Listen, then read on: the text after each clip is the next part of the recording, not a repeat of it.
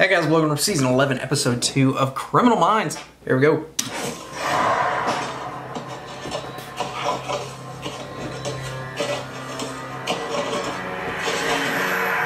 Okay.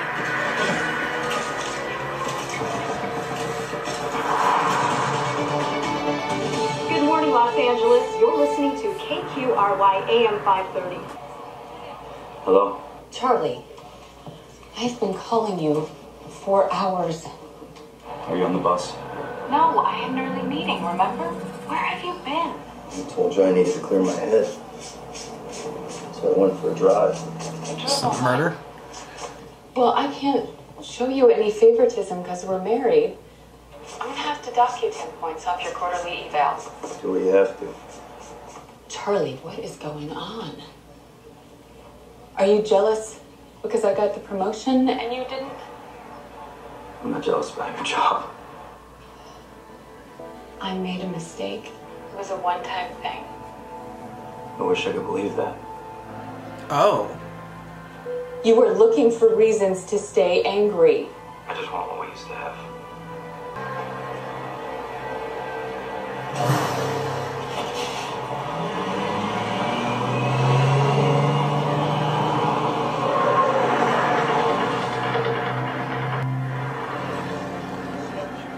It's my park.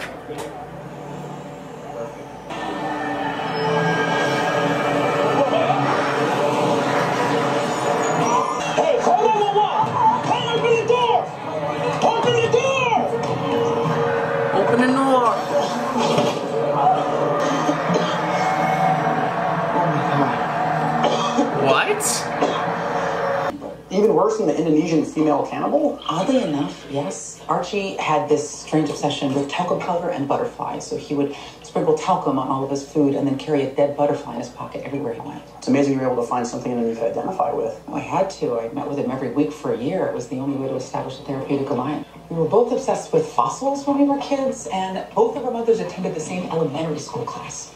A bizarre coincidence, right? What's the coincidence? Tara's mom went to the same elementary school as a truck stop strangler's mom. Okay, that's uh, a little creepy, somehow. Yeah. Minutes ago, there was a poison gas attack on a CityLink commuter bus in Los Angeles. 10 confirmed dead so far. Do we know what it was? Hazmat just got on scene. What are your guesses? Wow. recently in Syria. Maybe it's connected. It also reminds me of the attack on the Tokyo subway. Religious cult members carried plastic bags of sarin and punctured them with umbrella tips. Did was this not the guy at the very beginning that was digging? Charlie, you're okay. It's a poison attack. It's, uh, it's horrible. Yeah, I'll say. Pretty damn lucky.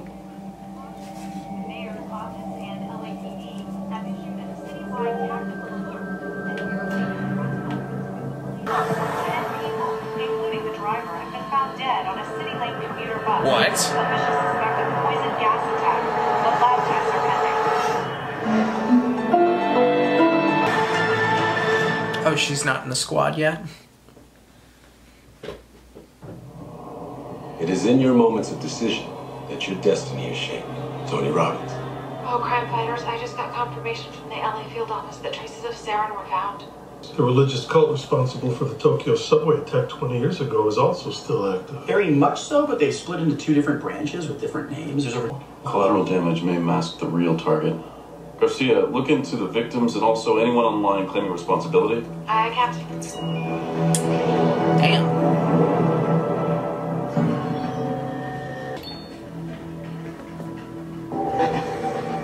Oh. What? What?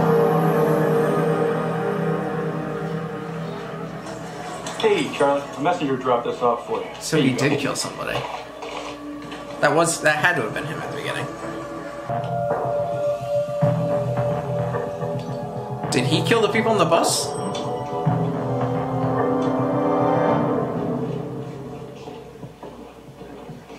It's been a long time. Uh, Natalie, congratulations on the transfer. Nice way to start a new job, huh? Tell me about it. Agent Colfax, Dr. Tara Lewis, Nice to meet you. Assistant Derek Murray. Thanks for coming out. We made six stops for Logan Park, which is where the crash occurred. What about the locals affiliated with the former religious cult in Japan? They all claim they broke ties with their leader after he was sentenced and have denounced terrorism. That's a convenient thing to say when the FBI is questioning you. True, but they're also part of a subgroup that made the same statement publicly back in 2007. Ah, okay, so we have some more information on the victims. Two are students at Allegra College. One's an accountant, one works for an insurance company. Three work at the city clerk's office, one is a teacher, but this is interesting. Michael Hoffman was a freelance journalist who previously worked in Syria. Over a hundred journalists have been killed there since the Civil War began. Interesting. They don't have Garcia look into it. If sarin is so fast and deadly, how can someone release it without harming themselves in the process? Mm-hmm. Excellent question. The, the cult members in Tokyo wore surgical masks, and even with them, some of them were still injured. I'm guessing that Texas found this, stuck under seat in the third row. It tested positive for sarin residue. looks like some kind of time-release device. Looks homemade. Battery operated. You know, it reminds me So of this was automatic targeted. fish food feeder. How it Or work? With a fish food feeder, there's a disc inside with multiple slots, and each slot is filled with fish food. As the disc rotates, the food is released at very specific times. My So someone could have planted that a long time ago. Yeah. How long ago? my fish food feeder lasts six weeks, so theoretically, one sub could have left all the slots empty except for the very last one, and waited six weeks for the sarin to be released. what the hell? Which means we need to look at everyone that got on and off that bus for the last month and a half. What? That's so many possible. Damn. So if the device was homemade, maybe the sarin was too. Oh, that'd be difficult. Hey, what you got, baby girl? Someone described Michael Hoffman, the journalist victim, as cowardly for leaving Syria in 2011 just when the trouble started. But one man's cowardice is another man's wise risk aversion. Garcia, I need you to look in the LA area for any chemists with extremist views, especially any that might have been under stress, marital, financial, etc. Okay, chemists under mucho stress. I am on it. Thanks.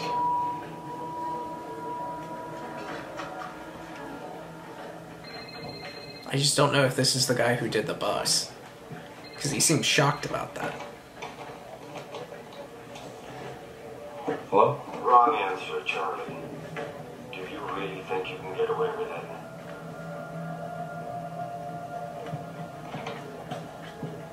I don't know what you're talking about. Who is this? I'm your best friend or your worst enemy. It's up to you. I'm texting you an address. I need you to break in and get a laptop. Wait, wait, wait, break in? Are you crazy? Are you really one to judge? Listen to me. No, listen to me. You know that sweet daughter of yours, Jolene? You love her, don't you? What? You want to see her graduate? You should have thought of that before you committed murder. You're a real mystery, Charlie. You got quite a dark streak. Charlie, you could have been killed this morning if you got on that city link. You're so lucky. Think it's the guy who did who killed the people on the bus I are the ones a call is the guy calling him? But how did he know that I know he that killed it sounds somebody? hokey, but Assuming this wasn't a fresh batch of sarin, where would you get the stuff being made? Technically nowhere. After the UN banned the use of chemical weapons, She everyone was supposed to destroy their stockpiles by 2007. Go ahead, Garcia. I come bearing information gifts. There are many chemists in the LA area, but one in particular is Johan Geitman. He was fired two months ago from Holder Industries for online gambling at work. So you asked us to look at surveillance near areas of the city link stops. We picked this up from the commuter parking lot at the Victory Depot this morning. According to the time marker, he parks here, just before bus 290 arrives. Then he leaves, and then he returns to his car a few minutes later. So he never got on the bus. Nope, running the license plate now. Gets back into his car, he's holding something. What is that? Exposed to sarin. So he could be the our car one that belongs killed. To Charles Senarak. He lives in Simi Valley and works at Banning Medical Supply. The bus that was attacked with sarin this morning stopped at that station, so we have to look at anything unusual. Wait, you think I had something to do with a sarin attack? We just wanted to know what you were doing in your car because the bus came and went while you were still there. Uh, Tracy had an early morning managers meeting, and I had a late night. I was trying to clean myself up, and um, I just wasn't paying attention when the bus left. What were you doing last night? Went to a bar, the Old Sea Tavern, and then for a long drive.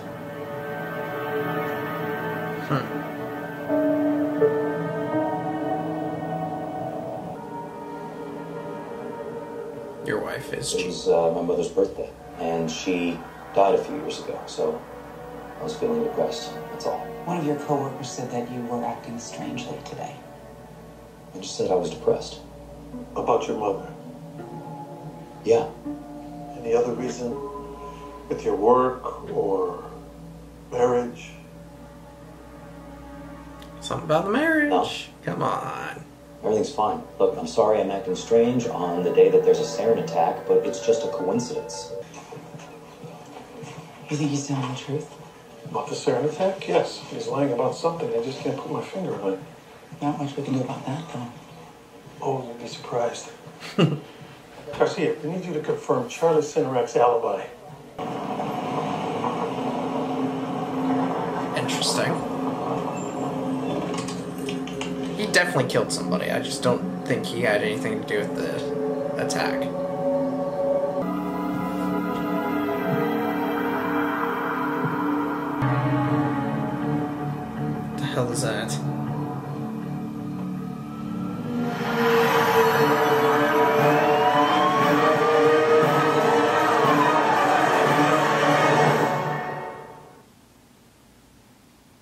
Screwed. Well, it looks like Geitman camped out here for a while. What the? Was he making sarin here? Why is he I don't see any trying to set him up? Whoever killed Geitman took his computer. Uh, probably got evidence. There's a reasonable chance that whoever killed Geitman stopped there, so we should pull surveillance footage if they have any. I'm on it. Oh my god, we're gonna go back to him. Geitman's former employer, Holder Industries, is one of the oldest chemical companies around. They were a major supplier of sarin to the U.S. military in the 1950s. I know you said all stockpiles should have been destroyed by 2007, but what if they weren't? What if Holder Industries still had some? And Geitman may have known where it was. Yensa bought it from him and then killed him so he couldn't talk. Which means chances are good the answer was more sarin than what was used. Geitman may have been a supplier working on his own, or he may have been a part of a partnership that's soured. We're looking for any information regarding Geitman's recent whereabouts or any individuals he may have had contact with. Perhaps in his late 30s, possibly 40s. Can I have another one, Dad? Dad? What? Can I have another pancake? Yeah. Pancake. The contained nature of the attack could mean that a partnership is falling apart and that only a portion of the plan was carried out.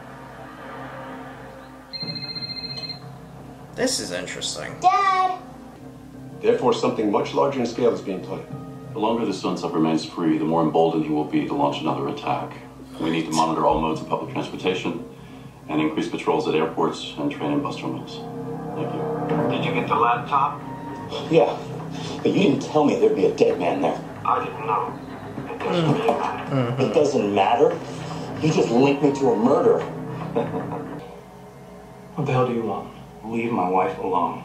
If you gave her what she needed, maybe she'd leave me alone. Damn.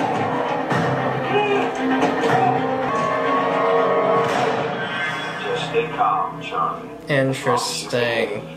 Your secret is safe with. Hey, Charlie. It's 7:15. Don't you need to take that beautiful daughter of yours to school? Daddy, we're gonna be late. Okay, honey. I'm sending you an address. You need to be there at four today. Interest. Well, we were right. Geitman was interested in Holder Industries sarin stockpile. We interviewed a supervisor who said he asked about it two months ago. We reviewed the surveillance footage from the gas station near the cabin. You're not gonna believe what we found. A red Subaru was there yesterday evening, just after 10 p.m. Let me guess, it was driven by our very own Charlie Senarak? Yep. Garcia, what did you find out about Charlie Senarak? Charlie reminds me of the color beige. Not that there's anything wrong with the color beige, aside from the fact it's the only color I look bad in. He's worked uh, for the last 14 years as a sales associate at Banning Medical Team manager, they have a 12 year old daughter, Jolene. He has no criminal record. He has no traffic tickets. His social media posts are just like, he's beige. this guy doesn't fit our profile at all. Ah. Garcia, any recent purchases that stand out? Handgun, ammunition? No, nothing I can see. Except the last three months, he has a lot of credit card charges to a marriage counselor. So he lied about his marriage being fine. What's his mother's birthday? Give me a sec. January 10th. And not two days ago, like he said. So what else is Charlie Got him. lying about? So who was that? Theo Katranis' brother. Theo's missing. No one knows where he is.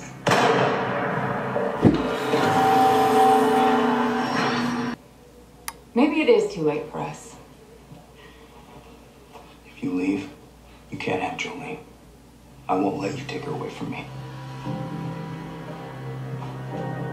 Damn. Go ahead, Penelope. Uh, Charlie Senark isn't beige at all. He's a verdant green. A month ago, he went on this ranty Facebook post about men who cheat with married women. Then early yesterday morning, he deleted it. I was just able to uncover it. And his internet search history, hot magma of, of homicidal rage. Maybe Charlie found out his wife was having an affair. If that's the case, he could be spiraling and lashing out at the world. Can I help you? We're looking for Charlie Senarak. I'm his wife. Is something wrong? We're with the FBI. We're just looking to follow up with him. Where is he? He left uh, half an hour ago. I think he had a meeting with a client. Yeah. A client.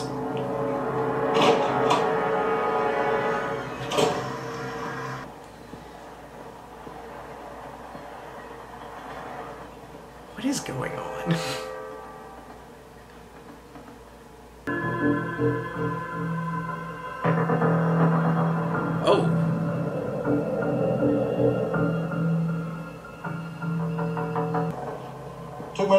a little while to find it. Is that it? Yep, What's that? beats me.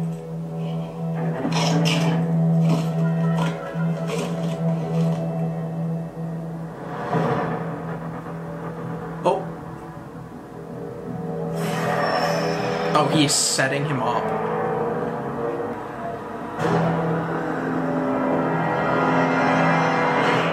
Kind of smart.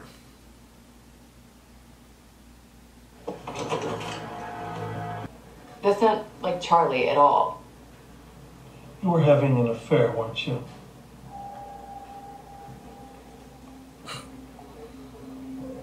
You'd be surprised what someone with a broken heart will do. Who was it with?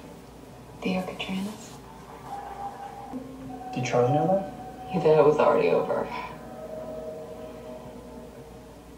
But Theo was persistent.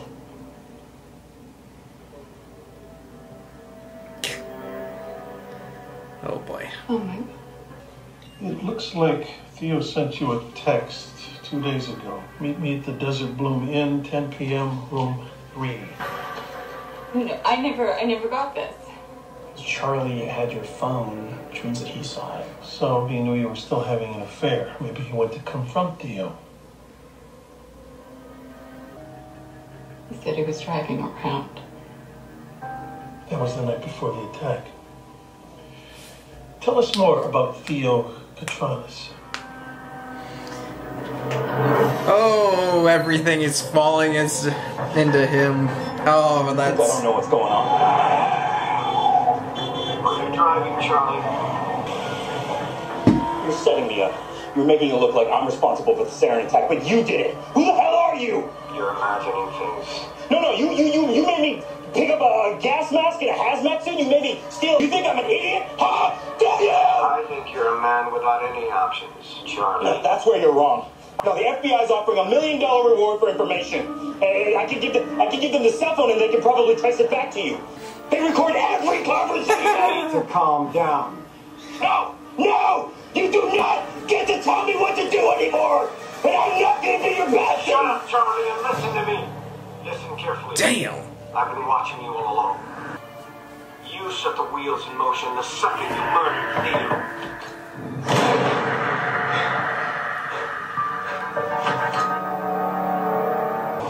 Jolene, That's wild. Talk to me, Penelope. You were right, handsome Italian man. Theo Katranis is more than just a lover boy. His name used to be Theo Martin. He grew up in the Heaven's Mission cult compound in southern Utah. He was one of 50 50 illegitimate children of the cult leader who What? had vehement anti-government views. Oh, sure. And eight years ago, he moved here with his half-brother, Mitchell Crossford. Uh, Mitchell blogged about launching terrorist attacks here in the United States. What? He had an apartment up until three months ago. Three months ago is right around the time Theo started having an affair with Tracy Senarak. Twice a day, every day, Mitchell has called Theo. Theo only answered once, and the last text Mitchell sent him was, You can't run away. I know everything you do. Oh my! Pick up everything you can about the brother Mitchell Cross. Oh my! The two brothers were planning a terrorist attack together until they had a falling out over Tracy Senarak. What if Mitchell Crossford has followed his brother around and tried to bring him back into the fold? Which means he also could have witnessed Charlie murder Theo. So that means So we sent agents to the last location where Theo Katranis' cell phone pinged. They just found what looks like a shallow grave about a mile into the desert just west of Desert Bloom Inn. I'll go check it out, Jesse. Wow. This is wild. Go ahead, Garcia. Mitchell Crossford was definitely the alpha in the relationship. He and his mother left the cult compound when he was 10. They moved to Phoenix. Where Presumably he found a partner in crime in Theo. So Theo fell in love with Tracy Senarak. Guys, Tracy rode the CityLink bus frequently. Uh, What if, in addition to testing out a stock, Mitchell planted the sarin in there to kill her? Mitchell witnessed the murder of Theo, realized he could turn Charlie into a patsy. Charlie obviously rides the same bus as his wife, so he already looked culpable. If Mitchell is this manipulative, then he sent Charlie to the cabin where the dead chemist was found to make it look like he had committed the murder. Uh huh. And then he called in an anonymous tip to establish his innocence and an alibi. Uh huh. An alibi for what just happened? Or what he's planning next. Yep. Hey, Garcia, That's- what are Mitchell's specific views? he felt the government needed to pay for what they did in Waco and to the FLDS Prophet Warren Jeffs. Well, that means the FBI is enemy number one.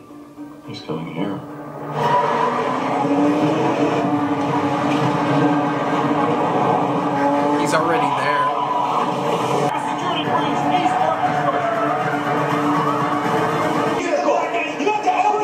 on your knees!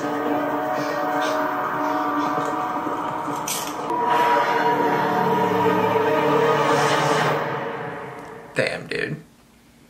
These could go off any second. It's 4.55, the garage is going to be flooded with people leaving work in That's five what he's waiting for. We had a hazmat decon. There isn't time. Evacuate the garage, turn off the ventilators, and seal it. Oh my god.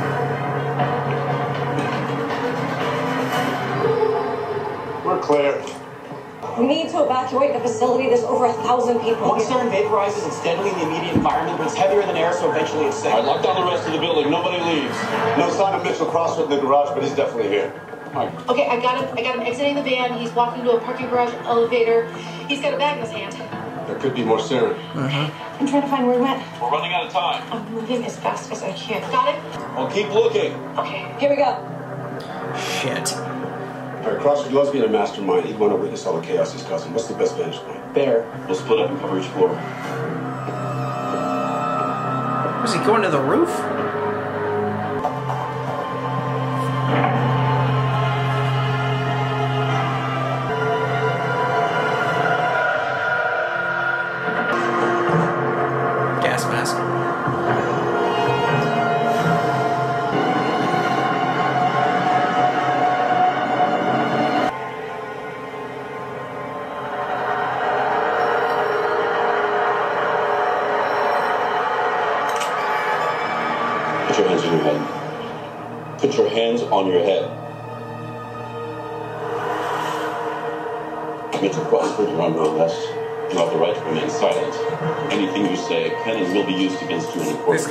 Right smart.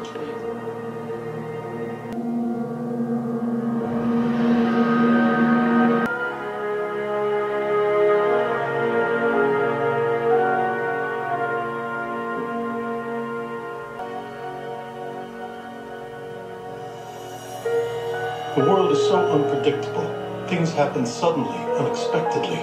We want to feel we are in control of our own existence. In some ways we are, in some ways we're not. We are ruled by the forces of chance and coincidence. Oof. Paul Auster. That was good. That was a good episode.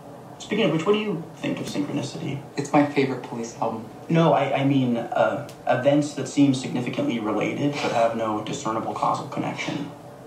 The, the fact that your mom and the truck stop stranger's mom were in the same elementary school class really got me thinking.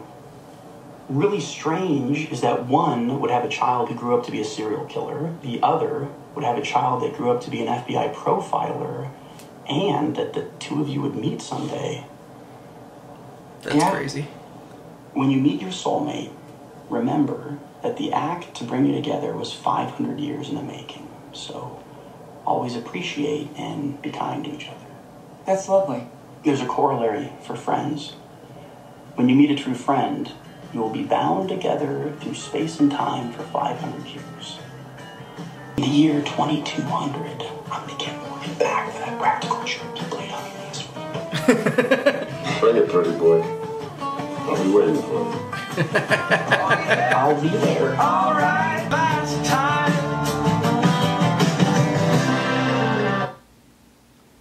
Nice. Uh, well, this one's pretty simple. Terrorism. We know the sentencing for that. Uh, however, the other guy is uh, he's gonna get a murder charge. It's gonna be about ten to fifteen years. Um, Mike can get something lower. It's possible. Um, but yeah, that's gonna be about what he gets. Like the video, comment down below, subscribe if you have not already. I will see y'all next time.